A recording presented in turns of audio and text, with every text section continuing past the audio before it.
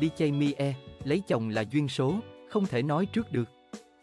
Mie vừa có những trải lòng với thanh niên về một năm đã qua, đồng thời tiết lộ những kế hoạch cho thời gian tới. Mie tên thật là Trương Tiểu My, sinh năm 1995, từng đăng quang Miss DJ 2015. Người đẹp tham gia một số chương trình như The Remix, Rap Việt. Cách đây không lâu, Mie gây chú ý khi ra mắt MV lý thuyết thì là như vậy, đồng thời tham gia diễn xuất trong phim Vi cá tiền truyện, Quỷ Cẩu. Trong năm 2023, Mie gây ấn tượng với vai diễn trong Quỷ Cẩu, được nhiều người khen ngợi về khả năng diễn xuất. Nữ DJ cho biết trong quá trình thực hiện tác phẩm điện ảnh này, cô không tránh khỏi áp lực. Đến lúc làm việc cùng nghệ sĩ nhân dân Kim Xuân, Quang Tuấn, cô có thêm động lực để hoàn thành nhân vật của mình. Tôi thấy may mắn khi được đóng chung với các cô chú gạo cội trong bộ phim điện ảnh đầu tay, cô bày tỏ mi thẳng thắn thừa nhận bản thân chưa bao giờ thấy mình đẹp. Do đó, nữ DJ không nghĩ mình bị gắn với danh xưng người đẹp đi đóng phim. Tôi chỉ sợ mọi người hoài nghi mình là tay ngang. Vì vậy trước khi đóng bộ phim này, tôi dành nhiều tháng để học các khóa diễn xuất.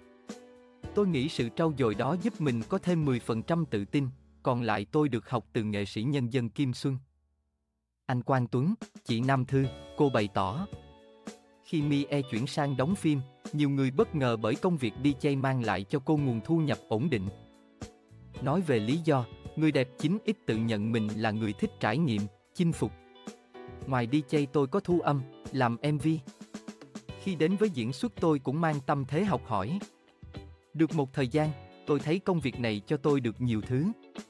Tôi nhận ra đó là niềm đam mê tiếp theo của mình, cô trải lòng mi quan niệm khi tham gia nghệ thuật, việc đón nhận lời khen chê là chuyện bình thường. Tôi mong những điều mình làm được mọi người công nhận, cho mình ý kiến để bản thân ngày tốt hơn. Nếu như mọi người không góp ý thì tôi không thể phát triển được. Nên tôi nhận những góp ý đó để thay đổi, cô trải lòng tham gia diễn xuất, Mi thừa nhận bản thân vẫn chưa vượt qua được áp lực về cảnh nóng. Cô lý giải, tôi rất dễ bị mắc cười nên sợ bạn diễn cũng bị xì theo. Cho nên tôi cũng ngại. Sau này thì không biết, còn bây giờ tôi chưa dám đóng, nói về việc những câu chuyện đời tư được quan tâm, Mi bày tỏ cô không khó chịu, chỉ thấy hơi buồn. Nữ DJ tin rằng nếu bản thân nỗ lực hơn thì công việc sẽ được quan tâm nhiều hơn. Tôi tự nhắc nhở mình phải cố gắng trong thời gian tới. Người đẹp chính ít trải lòng về kế hoạch trong thời gian tới, Mie nói cô nỗ lực trở thành người có ích, làm nguồn cảm hứng cho những bạn trẻ hơn. Còn về chuyện lấy chồng, người đẹp chính ít nói cô tin vào duyên số nên không thể nói trước được.